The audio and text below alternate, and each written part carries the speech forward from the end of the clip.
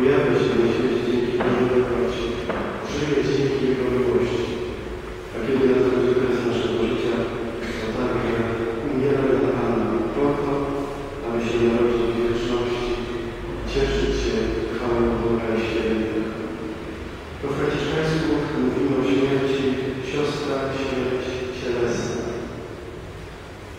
Święty Franciszek wyczuwał tutaj taką intuicję, że właśnie śmierć jest bramą do wieczności, do nowego życia, jest jakby powtórnym narodzeniem człowieka na Boga. Dzisiaj stoimy przy trumnie naszego współbrata Cezarego Tadeusza Wojczuka, który dobiegł kresu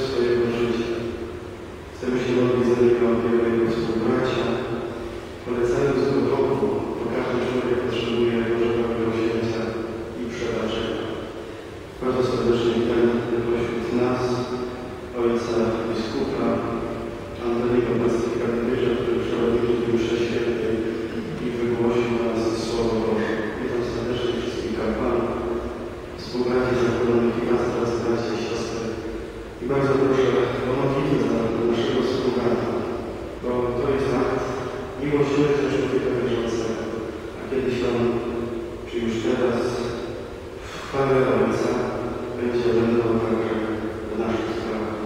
их э, э подвергся